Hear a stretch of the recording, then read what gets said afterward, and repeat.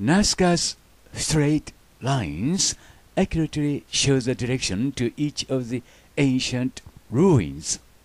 In other words, Nazca's straight lines are direction indication lines.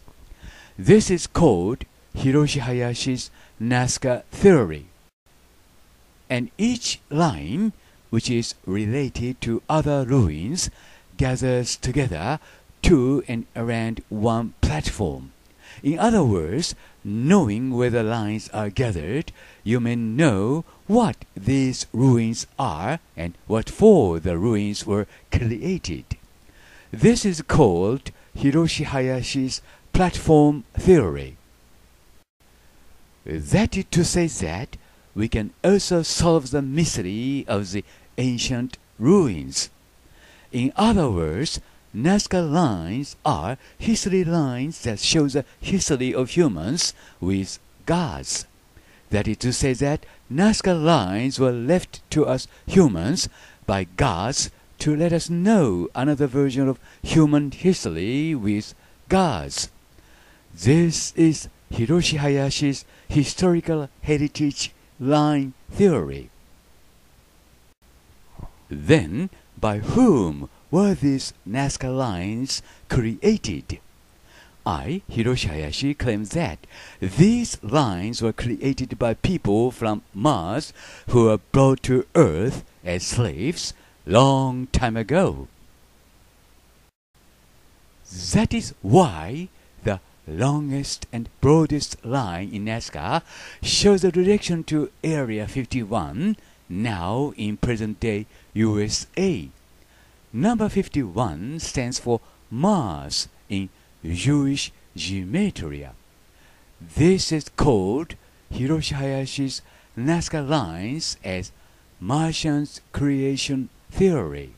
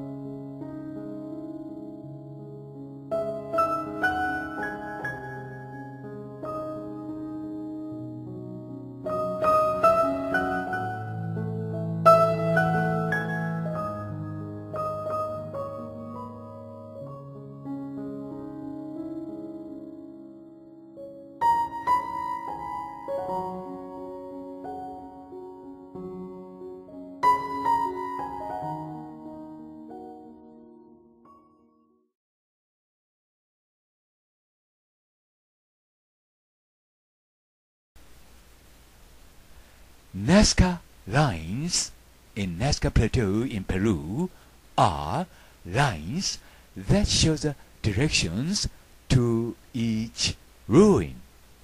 I name this theory Hiroshi Hayashi's Nazca theory, and the lines to the similar ruins gather together at one single platform in Nazca. I name this theory Hiroshi Hayashi's platform theory, and then we are able to know the historical connections between these ruins with these two theories. Moreover, we are also able to solve a mystery of a ruin with these two theories, a mystery of a ruin which is left unknown what it is for humans. Then I, Hiroshi Hayashi hereby define the theory as Hiroshi Hayashi's line history theory because with the theory we are able to know the secret history of the ruin, what it is. Then the largest mystery of Nazca lines is that who created these lines for whom and what for. But I can hear their voices whispering in my ears that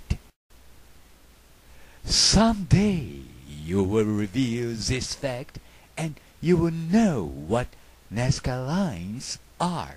And then it's time for humans to know what we are and what for we did it. We did and left these lines for humans to know that the whole hidden history on this planet, the Earth, were created by us. Now is the time for you to know the truth of human history. Because the history of this planet is a history of ours as well as of yours. Humans are not alone on this planet. Both you and we are brothers and sisters.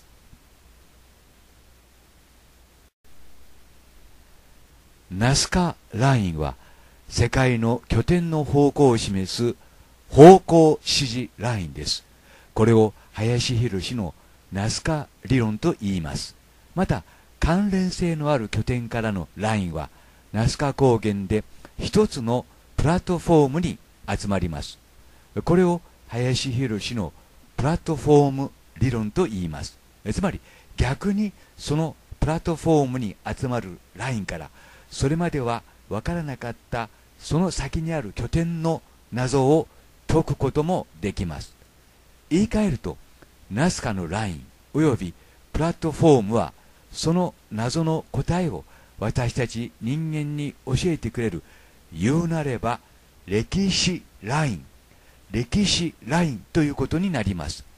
これを林博のラインヒストリー理論と言います。だから私にはこんな声がささやいているように思います。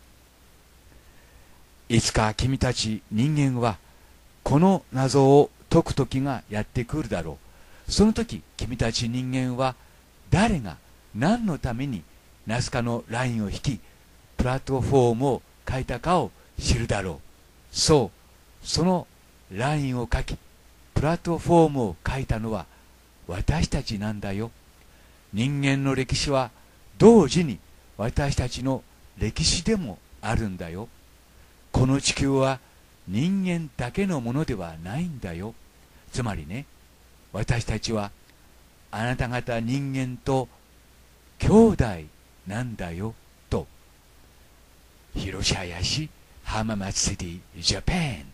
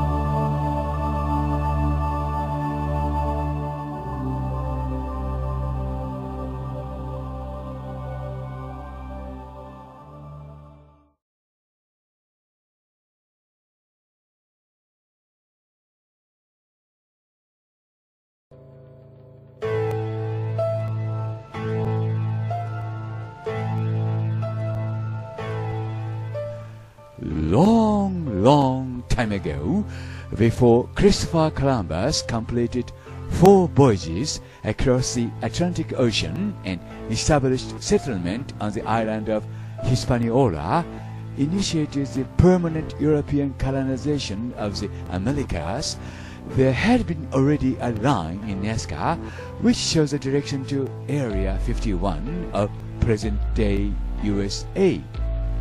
This fact indicates that Area 51, which stands for Area for Mars in Jewish gematria, had been there as it is now long before the days of Christopher Columbus.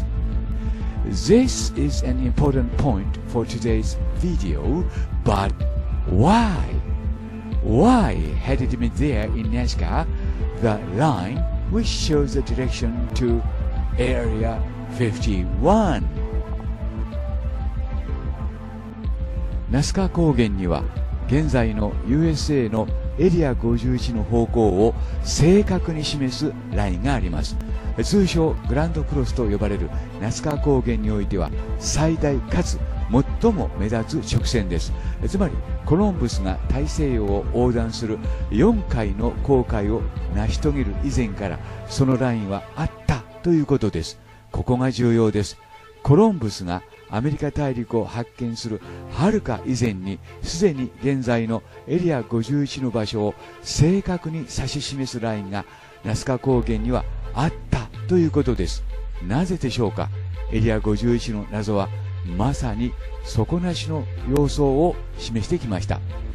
広島林浜松リジャパン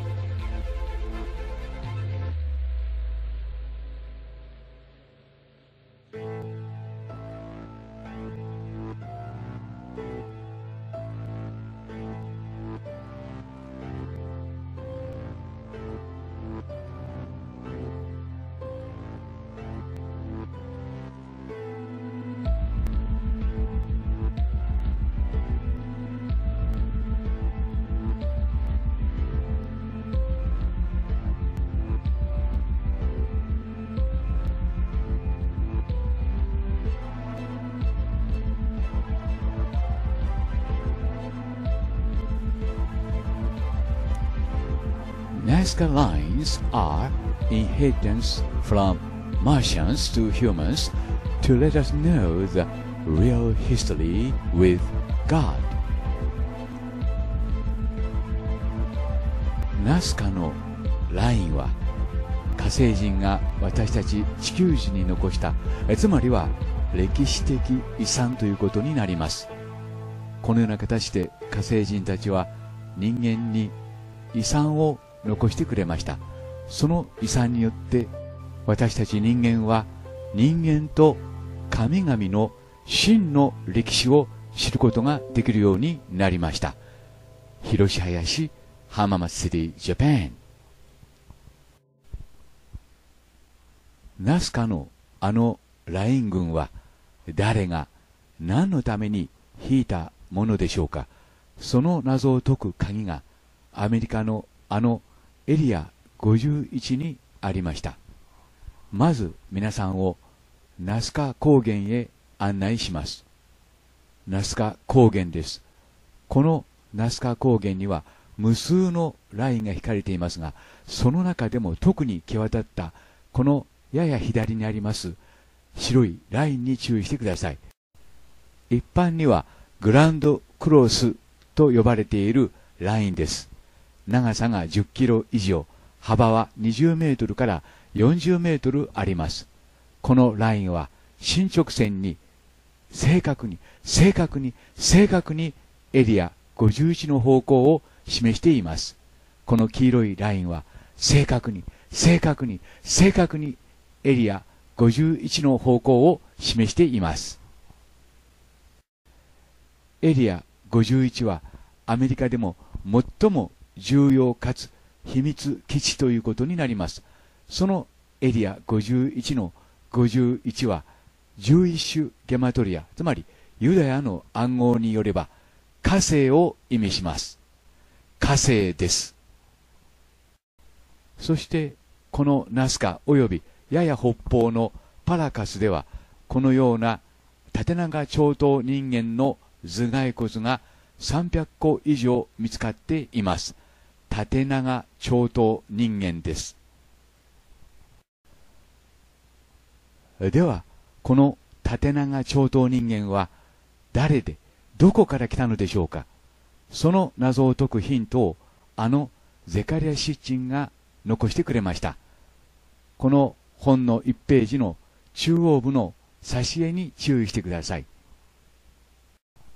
この挿絵の中央部に書かれている人物に注意してください。左に書かれているのが六芒星。火星は太陽系の惑星を外側から数えて6番目ということになります。地球が7番目、そして金星が8番目ということになります。六芒星イコール火星のシンボルマークということになります。この挿絵の中の右から2人目、中央に描かれているこの人物に注意してください。イギギです。そのイギギについて、ウィキペディア・ English には次のようにあります。イギギ was a term used to refer to the gods of heaven in Sumerian mythology. Though sometimes synonymous with the term Anunnaki, in one myth, the Igigi was the younger gods who were servants of the Anunnaki until they rebelled and were replaced by the creation of humans. つまり、イギギというのは、シュメール神話の中では、天の神と考えられていた。そしてイギギは、アヌンナキの同意語として使われることもあった。そのイギギは、反乱を起こし、人間の想像によって置き換えられるまで、イギギはアヌンナキの召使いであったと。これがその円筒印象と思われる図柄の説明文ということになります。ただ、ゼカレシッチンはこの挿絵についてですね、左上に書かれているのは火星であり、中央に書かれているのがニビル、つまり横切る星であると説明しています。が、ここで注意していただきたいのは、中央のその人物です。これが太陽と世界シッチンは説いています。そしてこれが意義火星から来た人という意味だそうです。そして左上に六芒星が描かれています。まあ、ここから火星人ということを世界シッチンは判断したのだと思います。そしてその中央の人物の左右に人間らしき人物が描かれています。まあ、かなり大柄な人間ですから神だったかもしれません。この手をかざしている点に注意してください。右はですね、エジプトの壁画に残っている絵ですけども、皆手をかざして挨拶をしています。まあ、このような形で古代の人たちは相手に挨拶をしたわけですけども、まあ、大抵は目下の人が目上の人に対してこのように挨拶しているということになります。目上の人が目下の下に同じように挨拶している絵もエジプトの壁画に残っています。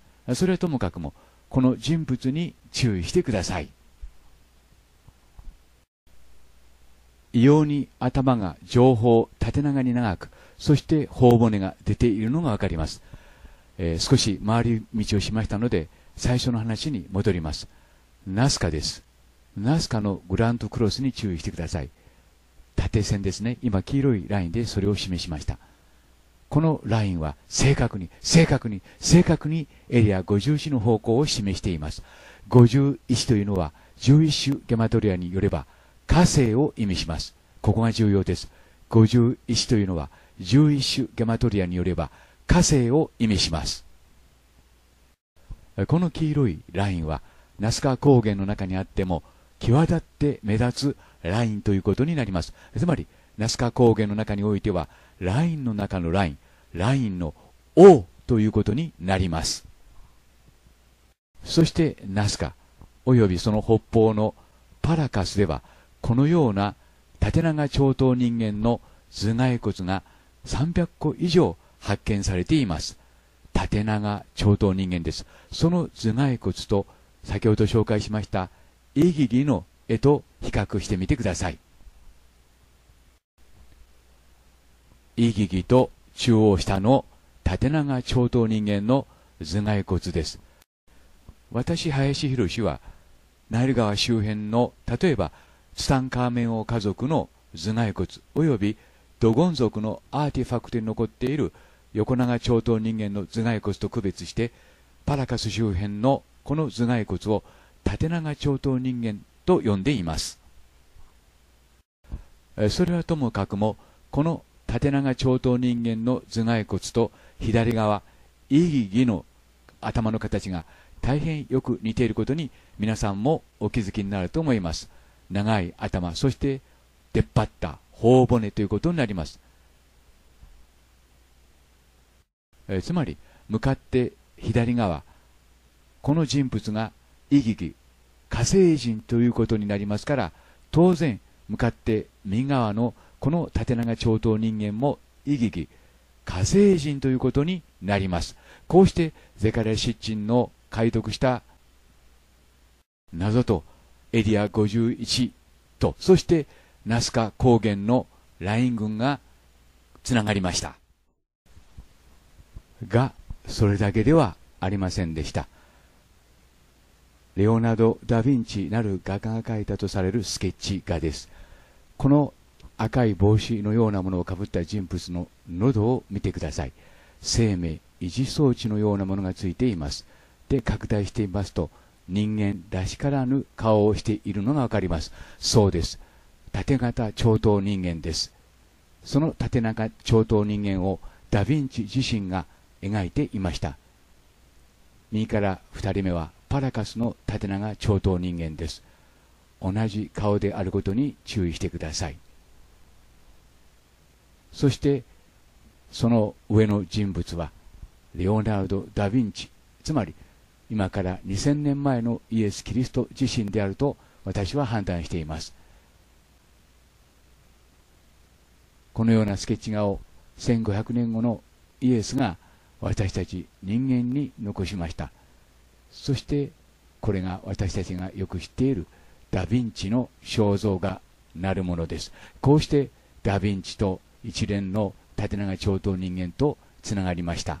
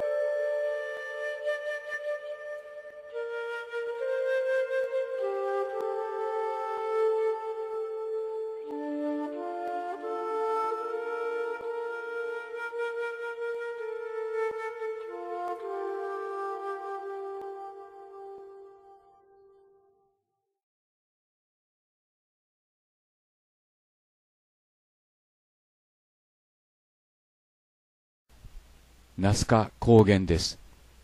このラインがナスカ高原のラインすべてを代表しているということになります。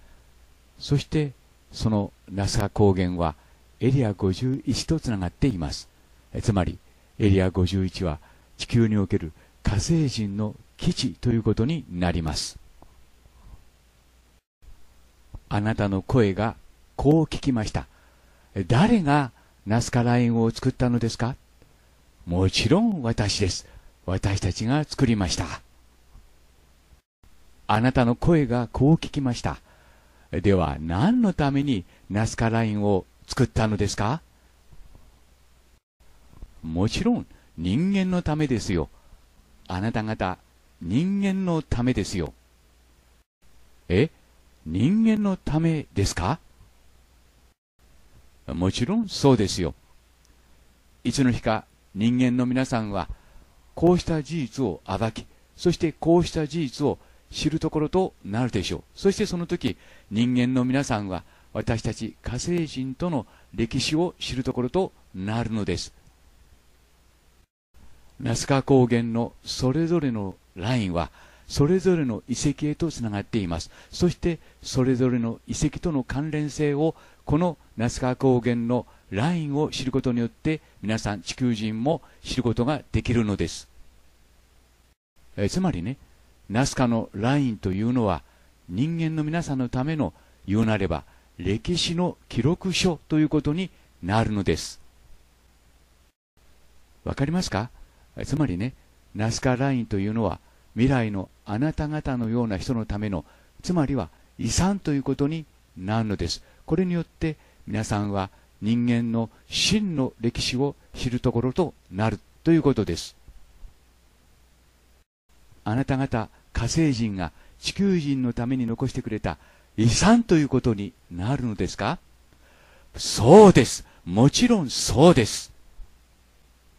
あなた方人間は、このナスカラインの謎を解くことによって、あなた方が何であって、そしてどこから来たかを知るところとなるのです。いいですか皆さん。あなた方人間は神の息子たちであり、そして娘たちなんですよ。それをこのナスカラインによって皆さんは知るところとなるのです。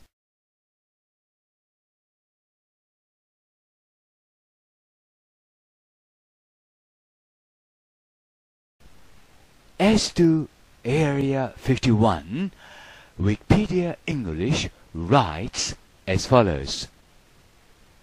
The United States Air Force facility, commonly known as Area 51, is a highly classified remote detachment of Edward Air Force Base within the Nevada Test and Training Range. According to the Central Intelligence Agency, or CIA, the correct names for the facility are Helmi Airport and Groom Lake, though the name Area 51 was used in a CIA document from the Vietnam War. The facility has also been referred to as Dreamland and Paradise Ranch, among other nicknames. The special use airspace around the field is referred to as Restricted Area 4808 North. Then what is Area 51? Nowadays, more and more people have confessed about Area 51, what it is. Some do before they die, and some do alive.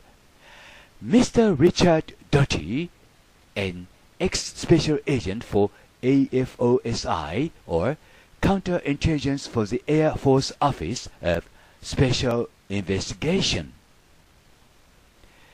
エリア51とは何か近年になり、より多くの人たちがエリア51について語り始めています。ある人は死のベッドで、またある人は死を覚悟して、元空軍特別調査機関 AFOSI の対情報活動のための特別エージェント、つまりスパイであったリチャード・ドティもその中の一人です。広し林浜松シティ、ジャパン。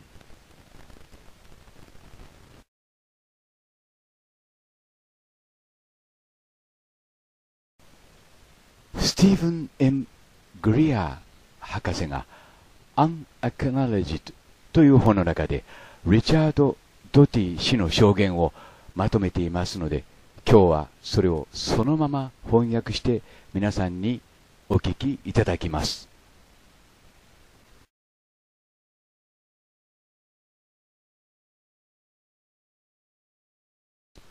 リチャード・ドティの証言リチャード・ドティは空軍特別調査機関 AFOSI の対情報活動のための特別エージェントつまりスパイであった。8年以上にわたりリチャード・ドティはニューメキシコのカートランド空軍基地及びネリス空軍基地つまりエリア51と呼ばれているがそれらの基地及び他の基地において UFO 及び外惑星人問題の任務を特別に担っていた。以下リチャード・ドティの証言。私はネバダのテスト基地にいました。それは現在ネバダ安全サイトつまりそこが現在エリア51と呼ばれていますが当時は D83 テストセンターと呼ばれていました。私が1981年から1985年までそこにいた時にはエドワード基地の D83 テストセンターと呼ばれていました。エリア51には実際には2つのサイトがありました。DET3 のテストサイトとグルームレイクです。そしてそれからパポースと呼ばれる付属の施設もありました。そのパポースに地下基地への入り口がありました。私は対情報活動の上級士官としてそこで9ヶ月過ごしました。そこでは大変きちんとした仕事がなされていました。エリア51にも施設がありソビエトの衛星が上空を通過した時など写真が撮られないようにとレーザーを放ったりソビエトの衛星カメラを盲目にしたりしていました。そこには2つの異なった複合建物がありそれらは全て区画分けされていました。その中の一つにエイリアンの乗り物がありまた人間製の反重力エンジンの乗り物がある全く別のエリアもありました。地下施設の中に外惑星人の乗り物が格納されている施設もありました。その複合建物の地上部の端に反重力エンジンの ARV つまりエイリアンの再生乗り物が格納されていました。私がそこにいた間に私は反重力推進クラフトを見たことがあります。そのクラフトはあらゆる種類のタイプの形をしていましたが彼らはそれを組み立てそれを飛ばそうと試みていました。がその多くはうまく飛ぶこともなく墜落したりしていました。そうした乗り物を飛ばす契約をしていた主な会社には E システム社ジョンソンシステム社サンディア社ライブモア社ロスアラモス社テクトロニクス社などがありました。GE モノトーラ社についてはモノトーラ社は巨大な施設を持っていてその施設の中で ET の通信機器がどのように働くかあるいは ET の通信装置がどうなっているかを調べていました。ロッキード社もそこにありましたしノースロップ・グラマン社もありました。当時は EG&G 社もそこに今日構えていました。ジン・ラスコウスキーがその EG&G 社のチーフでした。それでいつも彼は自分のことを安全オフィサーと呼んでいました。彼には多くのことが知らされていました。そのジン・ラスコウスキーは1977年から1991年までエリア51の安全チーフであったポール・マクガバンのようにたくさんのことを知っていました。ジン・ラスコウスキーは現在は引退していますがフルタイムでそこで仕事をしていましたそのポールが DIA、つまり防衛スパイ組織の計画とプログラムのディレクターをしていました。ポールは DIA の序列の中では第3位の地位にいました。私が目撃した地下サイトの中で私は2機の乗り物が重力に逆らっているのを見ました。それは卵型のものでした。大きさは多分10フィート ×20 フィート、つまり3メートル ×6 メートルくらいでした。あまり大きくはありませんでした。それには私たちがつけた着陸ギアがついていました。というのも、その乗り物の構造には合わなかったからです。また、それにはほとんど液体のようにも見える重門、つまり窓のようなものがありました。あなたがそれを見たら、あなたはあたかも水を通して何かを見るような感じで窓の外を見たことでしょう。が、私は外観を見ただけで、その内部は見ていません。で、私はパポース複合施設では、もう一つの巨大な乗り物を見ました。その施設の中を下へ降りていくと、それは右側の最初のベイにありました。巨大な乗り物です。その乗り物はどこか墜落した古い乗り物のように見えました。というのも壊れたような箇所があったからです。が、その表面及び全てが奇妙に見えました。それは私たち人間が組み立てたようなものには見えませんでした。パポース地下基地へと入り、下へ降りていくと、円形の実際、馬蹄形の形をしたランプ、つまり移動型昇降階段のようなものがありました。そこからはハンガー7の近くのエリア51南西角に向かう四方八方に伸びたそれぞれの場所に向かう枝分かれした通路になっていました。途中にエレベーターがあり、小分けされた上下空間がありました。バッジをつけていなかったら、あなたはその中に入ることはできません。そこでは全てがバッジシステムになっていましたし、そのバッジがなかったら、それらのいくつかの中には入れない仕組みになっていました。えつまり、バッジがなければ限られた空間へしか入れませんでした。前にも話しましたように、もしあなたがエイリアンの乗り物について携わっていたら、人間が作った反重力エンジンの乗り物に携わることはないという仕組みになっていました。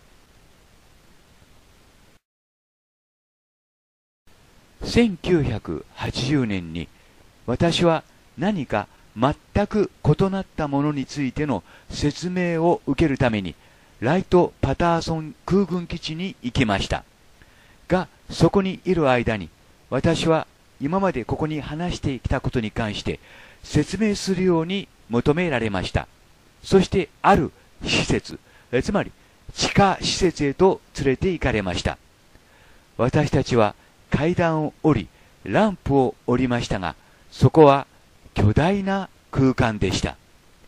私は実際は見ていませんが、後になってアーニ・ケラーストラス氏からそこにはエイリアンの死体があると聞かされました。またさらに後になってからその死体についての極秘マニュアルの中でそれについて読んだことがあります。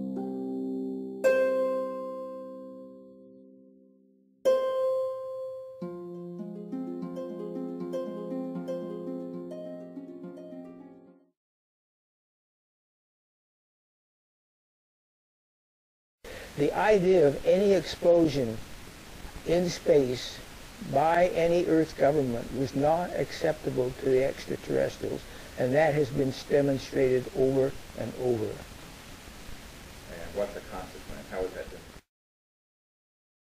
Uh, run into them. He mentioned an incident which I later confirmed. A spacecraft went to the rescue of Apollo 13, and they accompanied Apollo 13 on their voyage around the moon and back to Earth. And on two occasions, they thought they might have to transfer the crew to their spacecraft, but they saw them safely back to the Earth. People were interested in the extraterrestrial technology, very much so.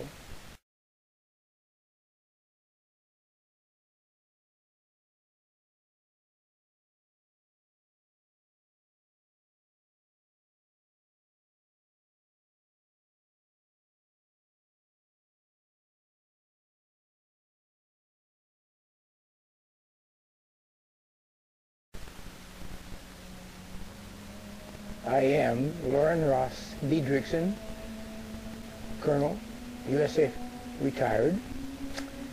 I got a Bachelor of Science degree and then the Air Force sent me to Stanford Business School to study management and then promptly assigned me to Washington, D.C. and I served in the Chief of Staff's office shortly for orientation and then they put me into the U.S. Atomic Energy Commission, where I became responsible for maintaining the inventory of the uh, accountability of the nuclear weapons stockpile and involved in the security and the, you might say, auditing the manufacturing facilities and the storage facilities for all the nuclear weapons in the U.S. アメリカ空軍大佐 ロス・デドリクソンの証言私は AEC つまり原子力エネルギー委員会の議長と国防省の間の軍の連絡委員会の上級スタッフでした。私は陸軍だけではなく海軍空軍民間機関のほか CIA や国家安全機関さらには私が開拓した他の機関の人たちとも知り合いになりました。そうした時代の間私の職務の一つが核兵器の安全性をチェックするための全ての核兵器施設を訪問するチームに同行することでした。そういう中核兵器の貯蔵場所やいくつかの製造施設の上に現れた UFO の報告を私たちは手に入れていました。そしてそういうことが連続的に続いていました。核兵器の上を飛ぶ UFO の飛行は大変深刻な問題として取り上げられていました。資料11を添付しますのでそれを見てください。事実そうした問題は目撃者が故意にそうした情報を流したりするとあまりにも大きな政治問題あるいは外交問題を巻き込むことになりましたので大変深刻な問題として取り上げられていたわけです。レーダーに UFO が捕捉されたようなほとんどのケースにおいては航空機が UFO の飛行を妨害するためスクランブルがかけられました。それは私たちの政府からの攻撃的な反応ということになります。よく知られた事件としては1952年の7月の事件があります。その事件の時は私は光を放つディスクタイプのクラフトを見ました。その事件の後フェルト海軍大将の下で核兵器実行計画の選択的指揮権のポストの責任者として連合司令官に就任しました。私は SAC 作戦のもとノーラッドつまり北米防空総司令部とも連絡を取り合いました。そして核兵器の使用に関する作戦計画にも携わりました。他にも2例私は UFO と核兵器に関する事件について知っています。2例のうち先の1例というのは1961年だったと思いますが太平洋で核兵器を爆発させた時のことです。それは ET たちによって引き起こされたものですが驚くべきものでした。なぜならその時数時間にわたってどんな場合も太平洋上で無線通信が途絶えてしまったからです。電離層にまで影響を与えたところから外惑星人たちがその爆発実験に関心を持っていたことには間違いありません。事実 ET たちの宇宙船は磁場汚染が理由で航行が不可能になったからです。2つ目の事件は1970年代の終わりか1980年代の初めに起きたものです。その時私たちは核兵器を月まで運びそこで科学的な測定のための爆発をさせるつもりでした。がこれは外惑星人にとっては受け入れがたいことでした。ET たちはその武器が月へ到着する前に破壊してしまいました。地球のどんな政府による宇宙での核兵器の爆発は外惑星人にとっては受け入れがたいものです。そのことは私たちが何度も何度も宇宙へ送り届けた核兵器がことごとく破壊されてしまったことでも示されていることです。繰り返します。地球のどんな政府による宇宙での核兵器の爆発は外惑星人にとっては受け入れがたいものです。そのことは私たちが何度も何度も宇宙へ送り届けた核兵器がことごとく破壊されてしまったことでも示されていることです。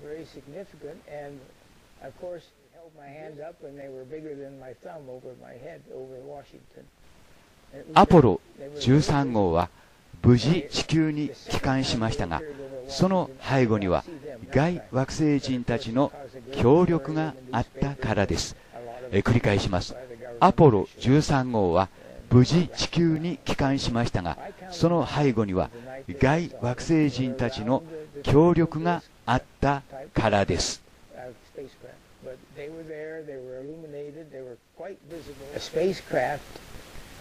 went to the rescue of Apollo 13 and they accompanied Apollo 13 on their voyage around the moon and back to Earth. And on two occasions they thought they might have to transfer the crew to their spacecraft, but they saw them safely back to the Earth. People were interested in the extraterrestrial technology, very much so. In fact, uh, Uh, that was the time when Area 51 became notorious